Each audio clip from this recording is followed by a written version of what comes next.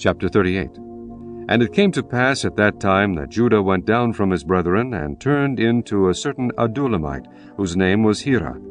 And Judah saw there a daughter of a certain Canaanite, whose name was Shua. And he took her, and went in unto her. And she conceived and bare a son, and he called his name Er. And she conceived again, and bare a son, and she called his name Onan. And she yet again conceived and bare a son, and called his name Shelah. And he was at Chezib when she bare him. And Judah took a wife for Er his firstborn, whose name was Tamar. And Er, Judah's firstborn, was wicked in the sight of the Lord, and the Lord slew him. And Judah said unto Onan, Go in unto thy brother's wife and marry her, and raise up seed to thy brother. And Onan knew that the seed should not be his.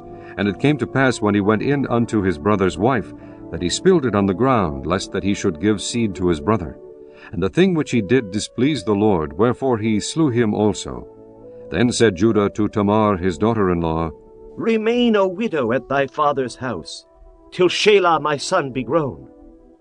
For he said, Lest peradventure he die also, as his brethren did. And Tamar went and dwelt in her father's house.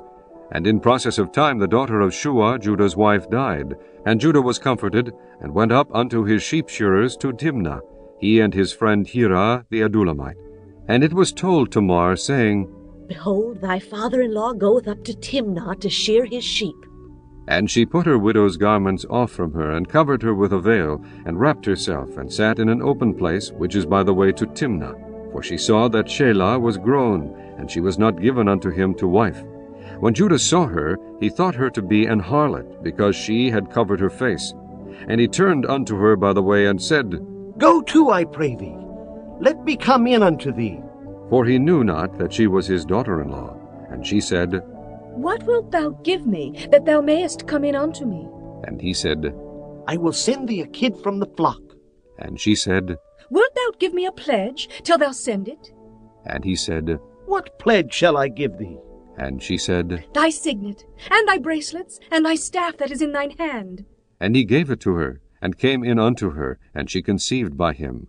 And she arose and went away, and laid by her veil from her, and put on the garments of her widowhood. And Judah sent the kid by the hand of his friend the Adullamite, to receive his pledge from the woman's hand. But he found her not. Then he asked the men of that place, saying, Where is the harlot that was openly by the wayside? And they said, There was no harlot in this place.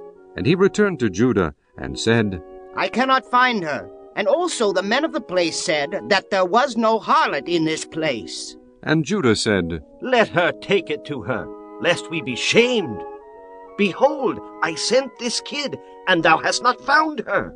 And it came to pass about three months after, that it was told Judah, saying, Tamar thy daughter-in-law hath played the harlot, and also, behold, she is with child by whoredom. And Judah said, Bring her forth, and let her be burnt. When she was brought forth, she sent to her father-in-law, saying, By the man whose these are am I with child. And she said, Discern, I pray thee, whose are these, the signet, and bracelets, and staff? And Judah acknowledged them, and said, She hath been more righteous than I, because that I gave her not to Shelah my son. And he knew her again no more. And it came to pass in the time of her travail that, behold, twins were in her womb. And it came to pass when she travailed that the one put out his hand, and the midwife took and bound upon his hand a scarlet thread, saying, This came out first. And it came to pass, as he drew back his hand, that behold, his brother came out. And she said, How hast thou broken forth? This breach be upon thee. Therefore his name was called Pharez. And afterward came out his brother, that had the scarlet thread upon his hand, and his name was called Zerah.